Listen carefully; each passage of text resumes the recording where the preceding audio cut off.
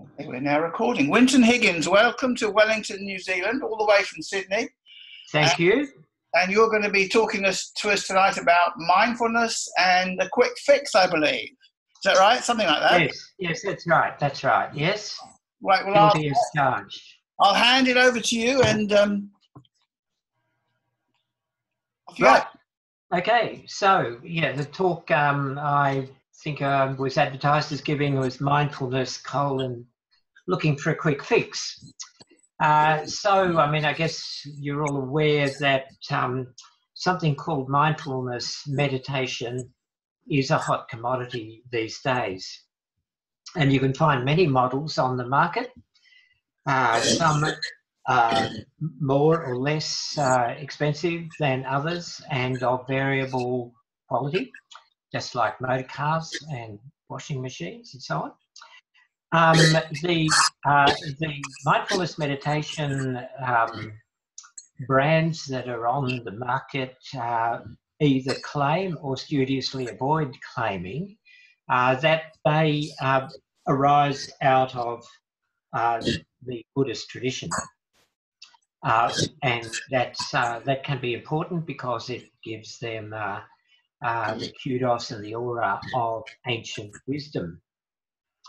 Uh, so, what that claim actually is referring to is, uh, if we look at it more closely, is the Buddha's um, own teaching on um, insight meditation, sometimes known as vipassana meditation, and these days uh, in, the, in the commodified form, the uh, mindfulness meditation.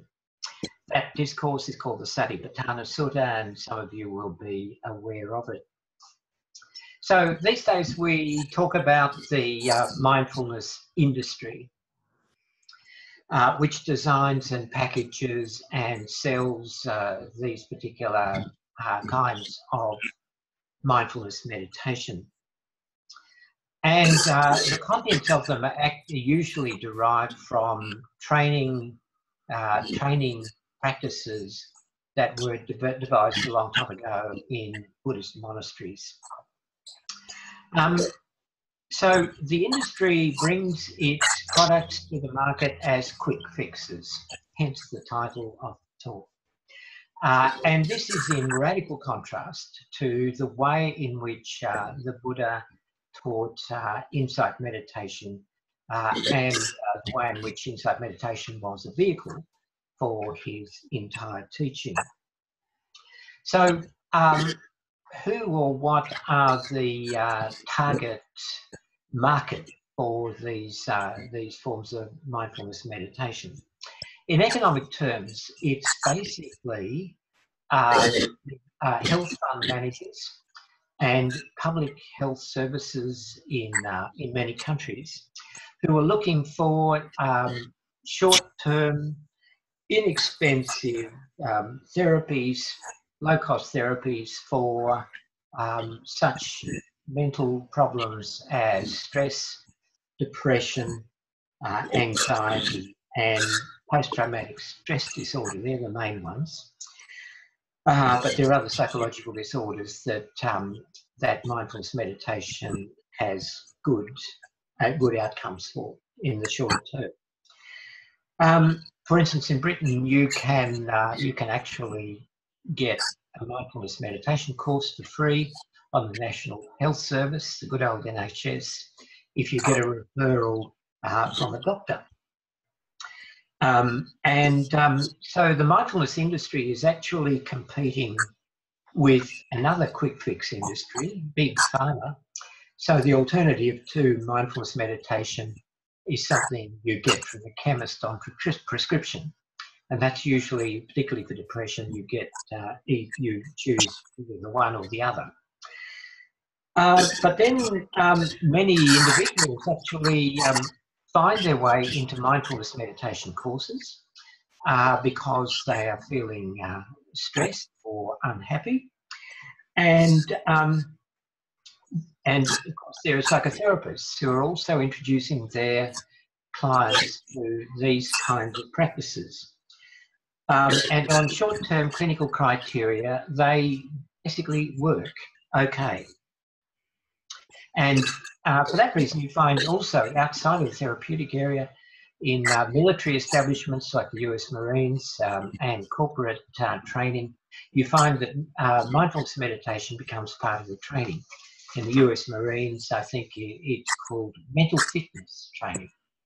So, um, what is a quick fix?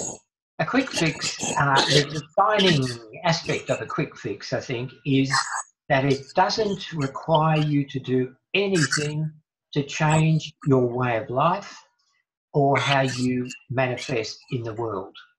So, you know, you can go on being um, uh, high, you can go on being an over busy executive or whatever it is, uh, and um, hanging out at the pub on Friday nights, etc. And that's okay because you're doing your little meditation course in the middle of the week.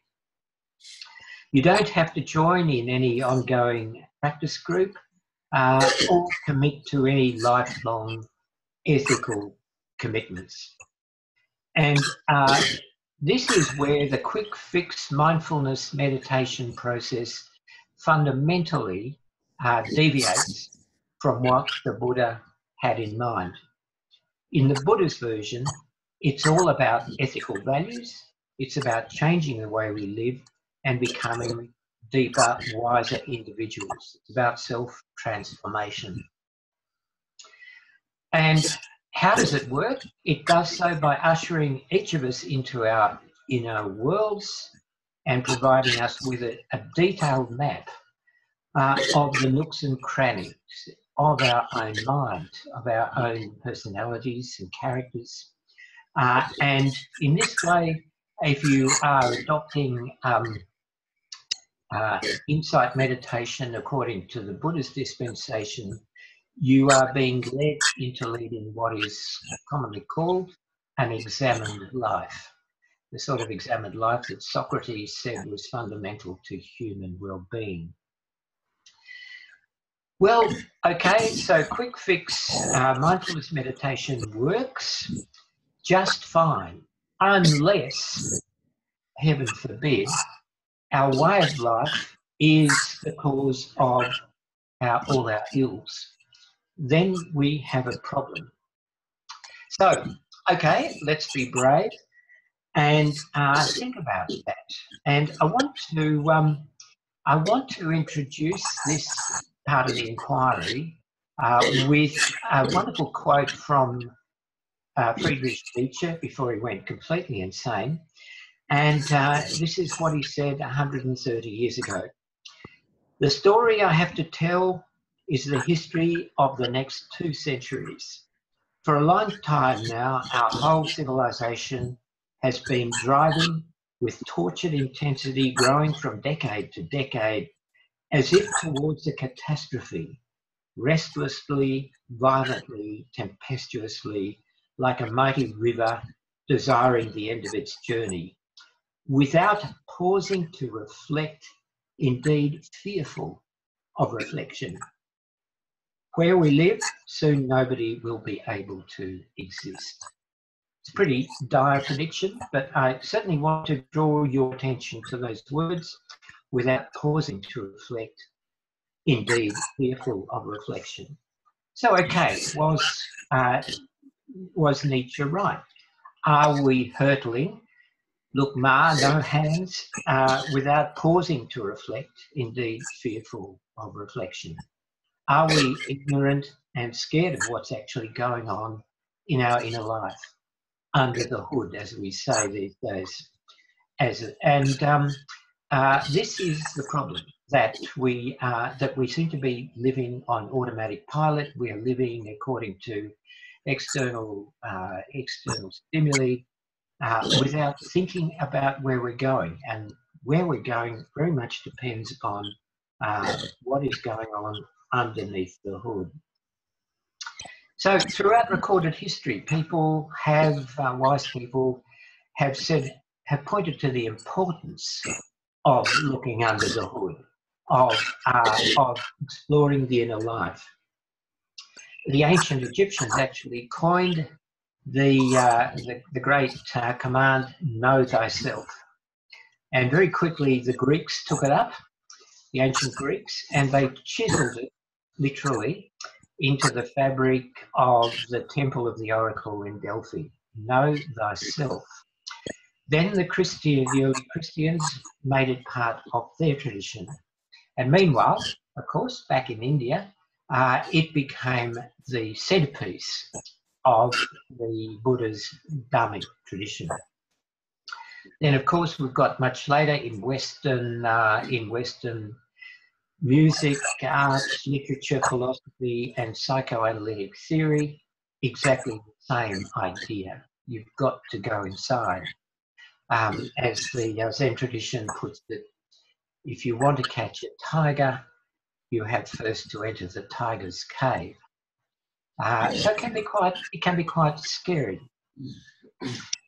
But let's ask the question: Where, what part does the inner life hold in the way we live now? And dispiritingly, for many, it has very little place at all. And at that point, I want to introduce you to a, um, a book that came out this year by Christopher Bollas called Meaning and Melancholia Life in the Age of Bewilderment. There it is, uh, Routledge paperback. Can you all see that? Okay.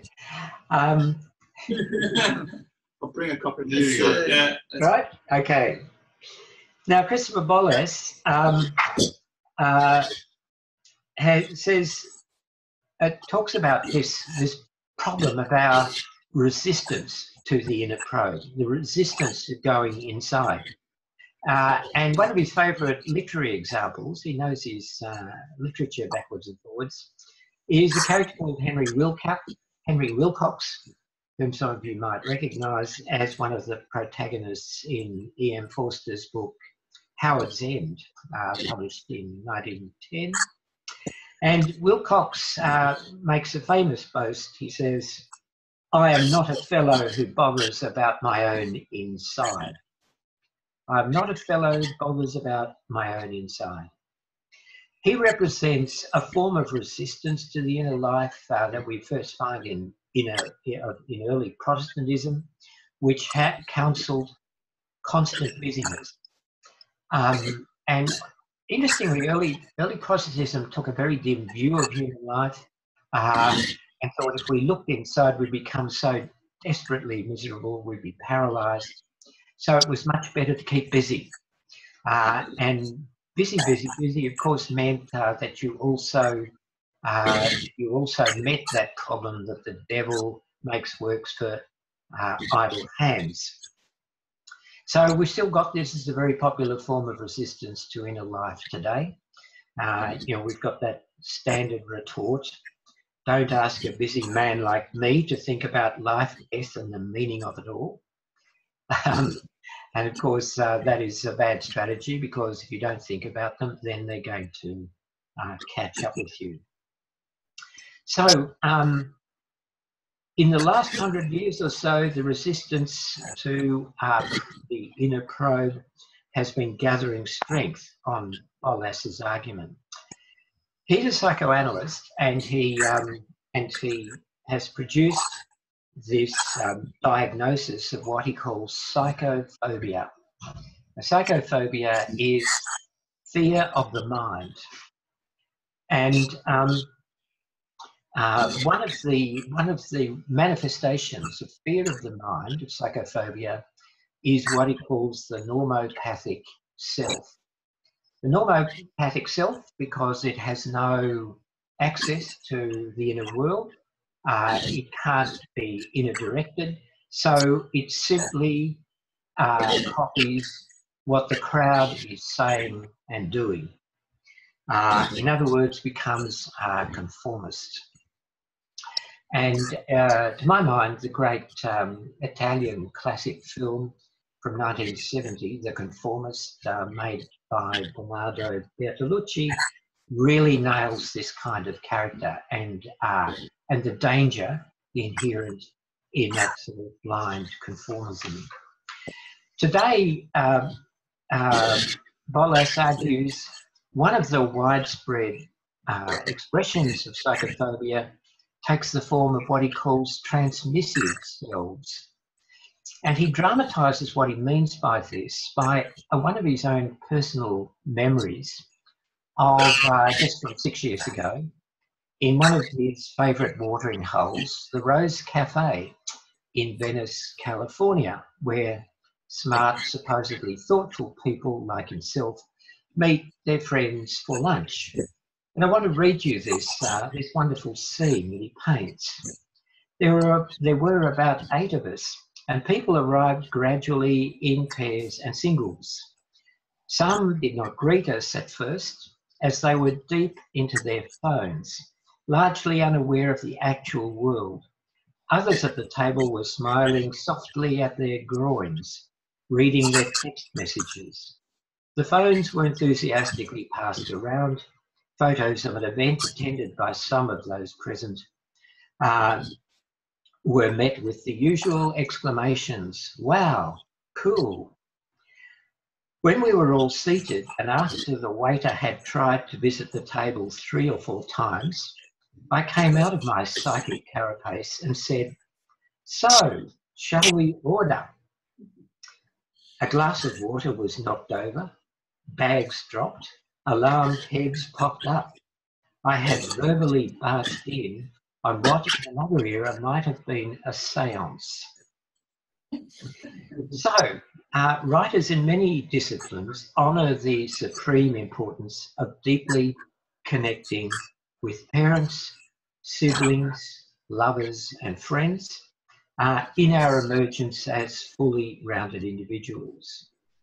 Without immediate, and that means unmediated, close contact with such people, even our brains can't grow as they should. And it's something that the um, uh, neuroscientist Susan Greenfield has made, uh, made the point forcibly. forcibly. Yet, uh, this scene at the Rose Cafe is a typical gathering of people who are only going through the motions of interpersonal contact while they privilege virtual uh, interlocutor, interlocutors who are not present over actual companions who are present and a past event over what's unfolding in the now.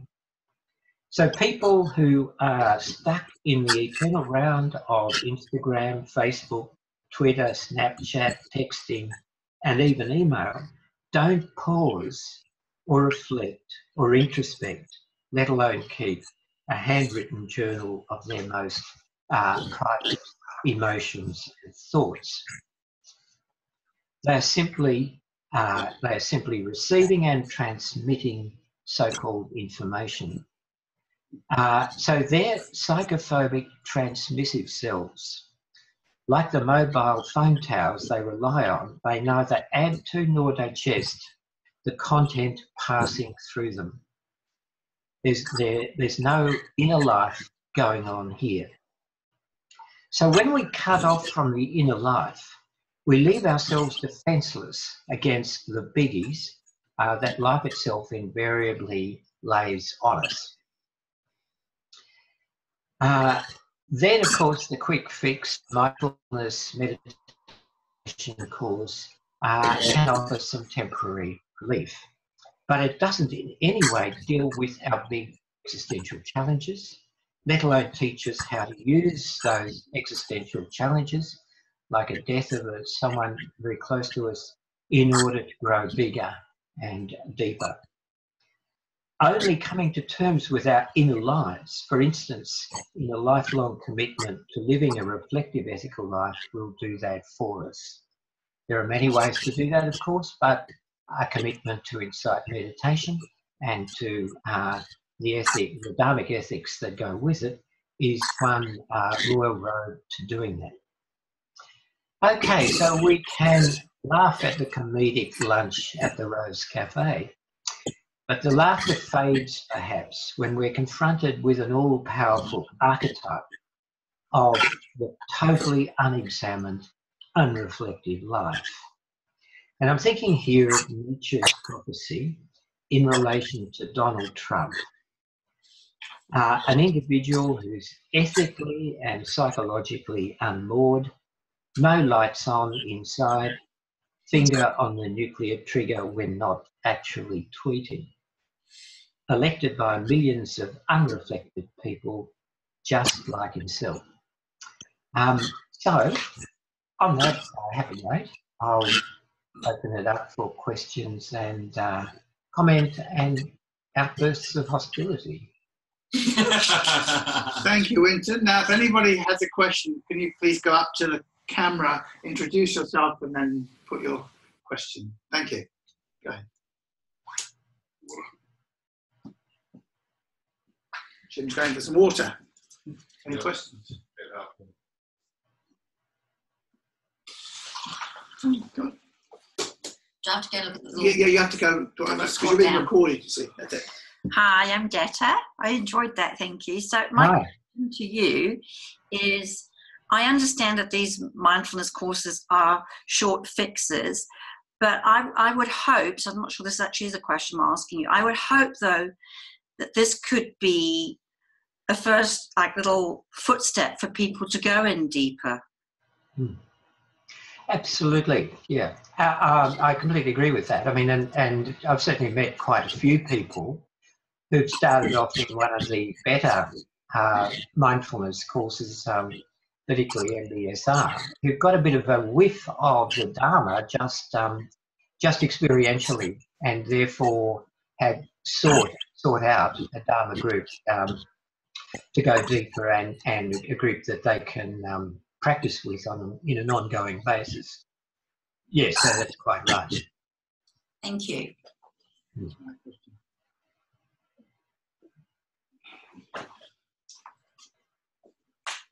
Winton, I'm Noah. Um, Hello. so I feel like you've kind of laid out the two. There's the unreflective life, and then there's follow a kind of Buddhist ethic, along with you know ethics, kind of change the way you live, that kind of thing. Um, what's the? Can you maybe talk a little bit about what's stepping onto the path from this an unreflective life? Maybe somebody who's just had their mindfulness course and that was their first step. How did they get from there to the the the other end where kind of they've transformed their whole life? Um, because I, I think I think many people would just might be just be put off by oh I have to change everything about my life. Yeah. That's too hard. I can't do that.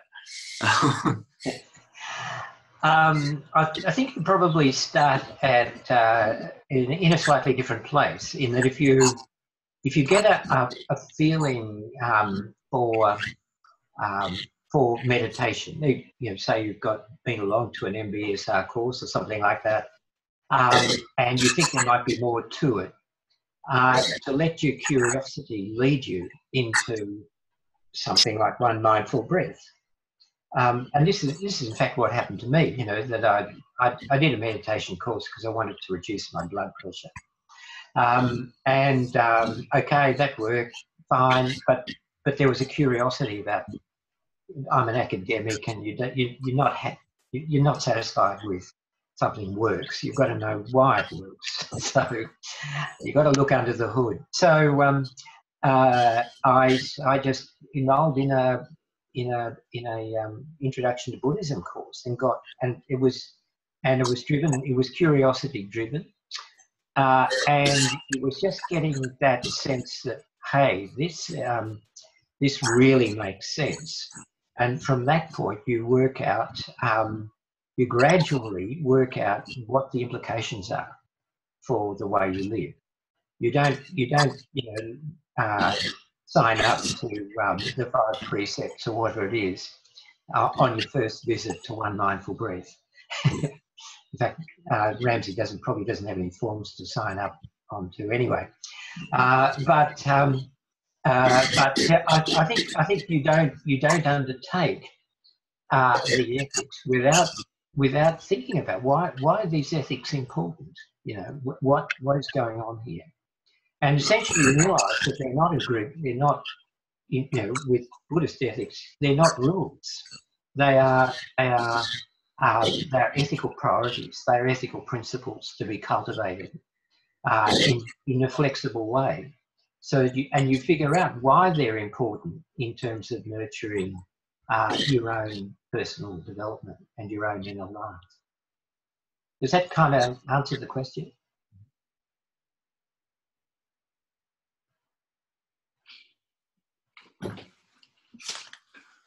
Good evening, Winton.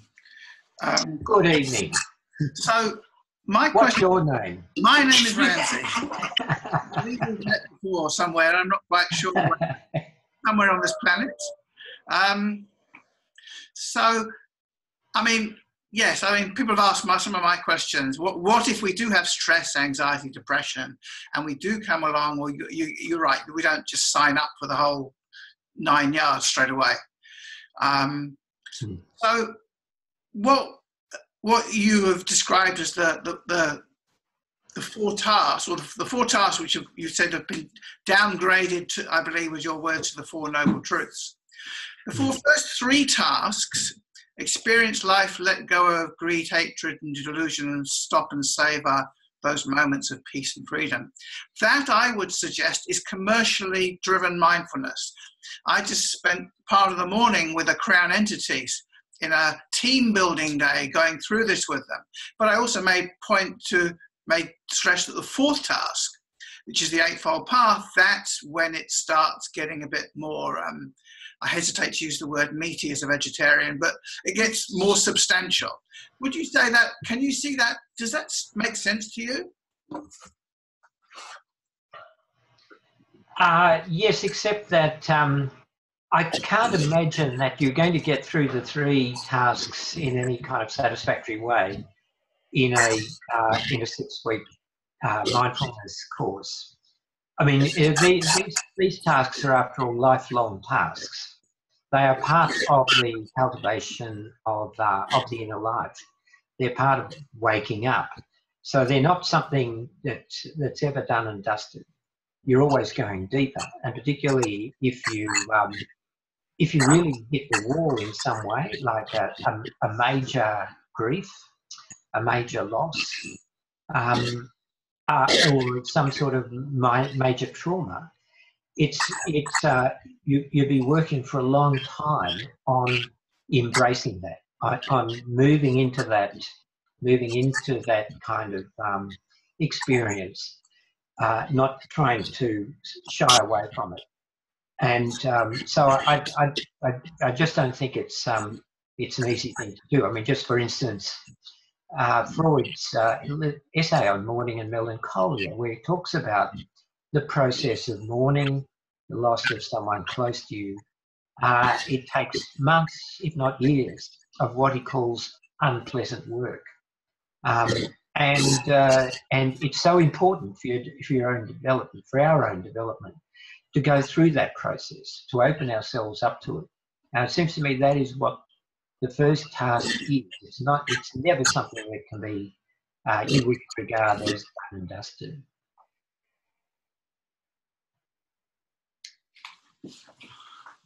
Hi, Winton. I'm, I'm Jeremy. Thanks for your talk. Um, I just want to kind of follow on from that. And um, I'm not sure who it was that said um, uh, that if you're best not start, but if you're going to go down the path, then you better keep going. Um, and I kind of feel it's a little bit like that when you look at these short term quick fixes. And do you think perhaps it'd be helpful for some of the people who are marketing these to put a big disclaimer on it saying um, you may see things that really freak you out and uh, uh, don't expect six weeks to um, sort that out for you. Uh, we're happy to refer you on to the right person. Uh, I uh, I think that you know from my knowledge of the um, of the six week courses, you you're most unlikely to um, uh, enter the tiger's cave. You know, uh, it's unlikely to be something that will uh, that will freak you out. Partly because they're they're using formulaic approaches to meditation. they're using techniques uh, which uh, which are not really opening up your inner life. Uh, they might be stopping your hyperactivity in the world for you know 20 minutes or 30 minutes, but I don't think they're the sort of thing that they're going to um, open up real biggies. Whereas, you know, if you go on a on a 10 day intensive insight retreat, that can happen. In fact, I've seen it happen again and again. And if it's skillfully dealt with uh, by the teacher and by the meditator, uh, you come away from that retreat uh, having uh, having come a, having had an awakening experience actually. Mm. but, but I, really think that the, that the six week numbers do not really um, uh, run the risk of letting those sorts of uh, uh, hobgoblins out of the bag. Thank you.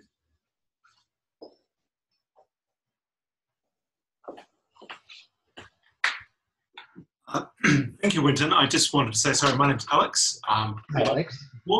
Um, and I just wanted to say thank you, firstly, for the talk. I found it really entertaining. I really enjoyed thinking about the um, the reluctance sometimes um, for people when they do a mindfulness course to actually potentially have it change them. And it's interesting as well, reflecting on, I guess, a little bit of our capitalist consumer society, is that we tend to think of a mindfulness thing as like a pill, like in, in the same way as it's going to just hmm. change us without us actually having to be changed in ourselves. Yeah. Uh, but my question was more around um, for for thinking about for one mindful breath. You've talked about the idea of you might have someone who's done some mindfulness courses, they've had their interest peaked in the, in the subject. They might have just seen, and this is what happened for me, you might have seen maybe one or two little references to Buddhism somewhere in there, and you're like, oh, that's interesting. I think I'll go down that path. Mm. But if you came along to One Mindful Breath, or say if you came, someone came along to um, Kookaburra Sangha in Sydney, what would you say to someone to sort of to keep that curiosity burning, to, to sort of get them past the point of like, oh, okay, this is something that I'm interested in finding out more about. Have you sort of got like a, I'm wondering if you've got like a succinct little blurb even that you could mm-hmm. think of, of how you could sort of keep that interest, that curiosity that they've got continuing on. Oh, that's um, uh, that, that, that's a tricky one. I mean, from my own, um, I mean, my own experience was going on um, a meditation retreat, and and actually, and and so deepening into the practice, and having all sorts of experiences that that I've that I found quite significant, um, and worth following up on and worth continuing. Um, yeah, I mean, there's all sorts of inspirational literature. Uh, the first thing comes to mind is Thich Nhat Hanh, I guess, um, because he's got these, you know, delightful little books that go cut straight to the chase.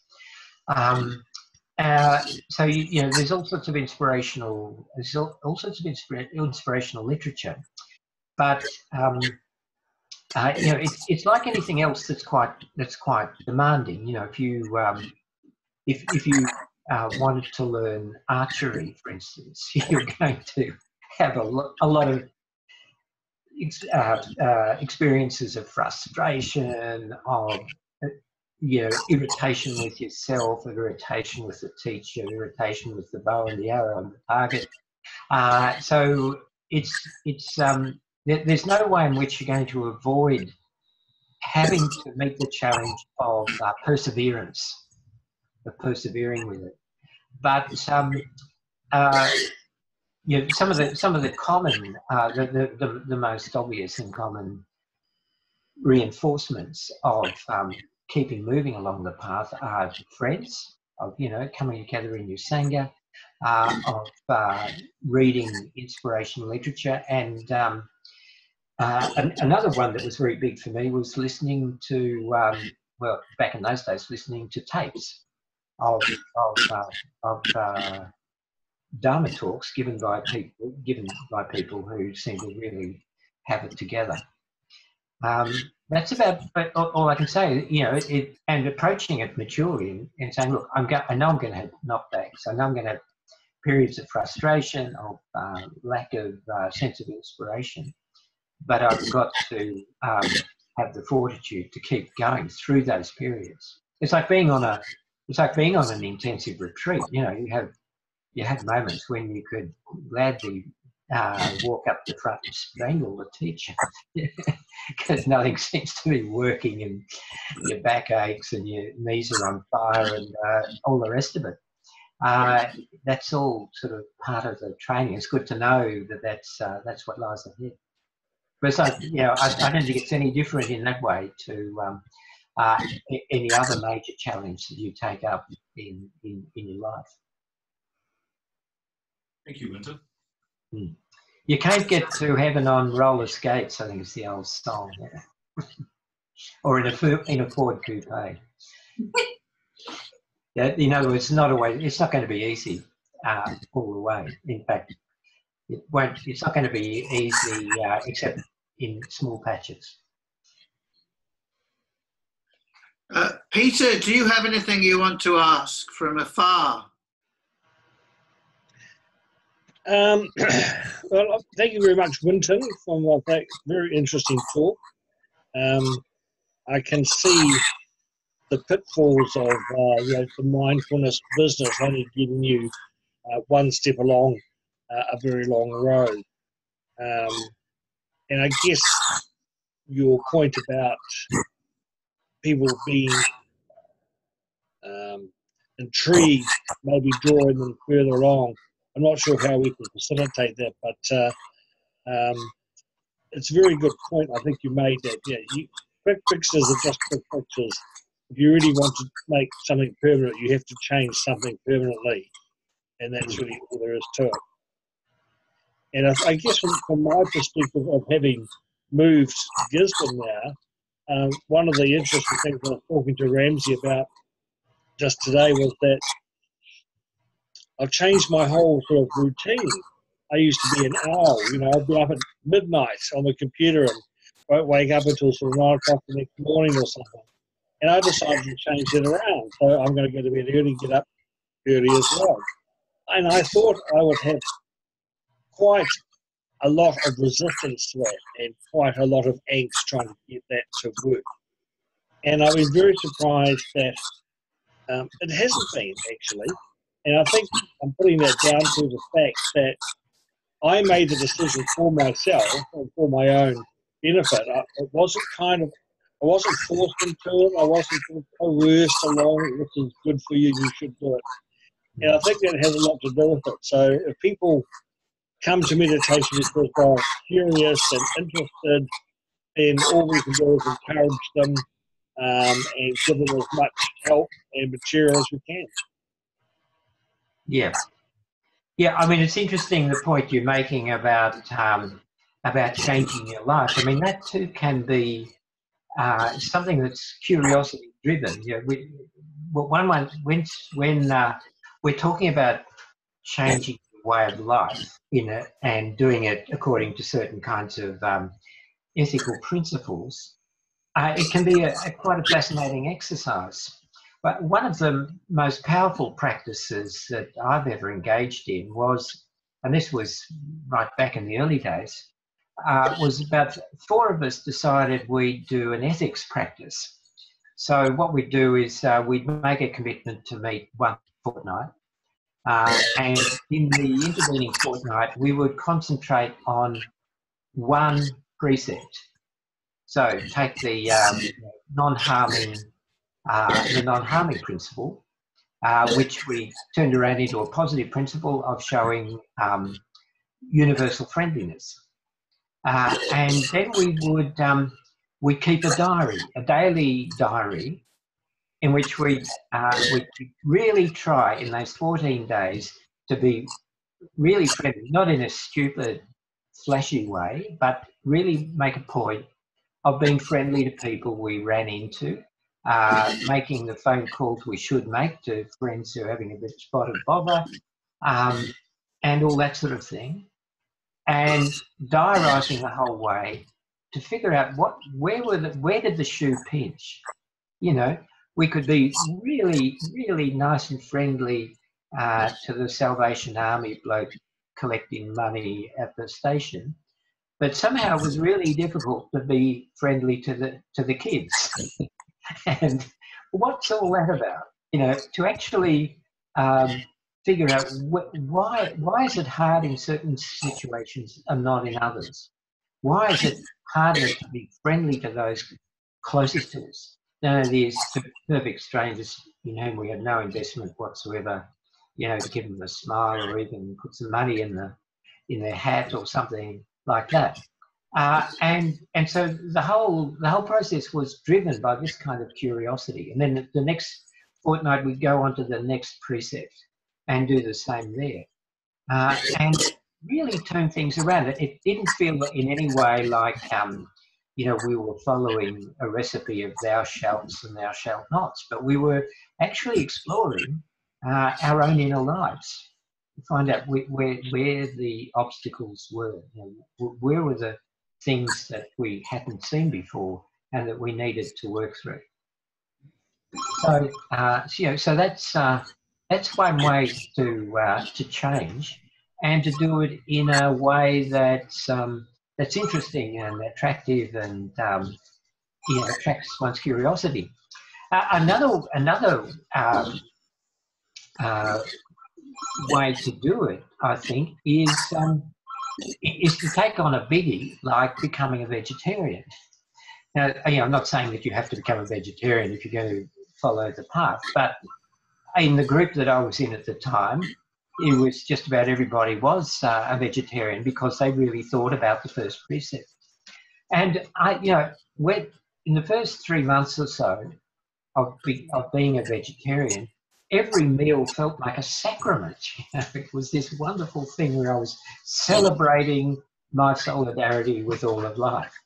It wasn't, a, oh God, I really love a steak or something. It just, all that stuff just dropped away. And I made the transition uh, very, very easily and happily. So it can be, you know, you can, it depends on the way you approach uh, your own transformations, your own program of gradual change, which needs to be driven by your own experience, reinforced by your own experiences that you are making conscious because you're watching what's going on. Thank you, Winton. Anybody else got any final questions? Anything? Um, well, from uh, from Wellington, thank you very much, Winton. Uh, it was very entertaining, and we we uh, we look and, and in and enlightening, and we look forward to seeing you here in New Zealand in February when you're going to be running a a day-long workshop launching the book After Buddhism Workbook and available for um, consultations, I suppose, one-on-one with any students who want to have a chat with you. Yep, happy to do that and looking forward to it. Wellington is, a, is always a great place to visit. Lovely. Thank okay. You. Thank you very much and, and, good night. Good night and good luck. Bye bye, everybody. Bye bye. Bye bye.